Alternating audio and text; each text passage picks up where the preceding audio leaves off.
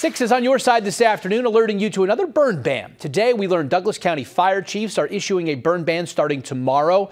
The order is until further notice.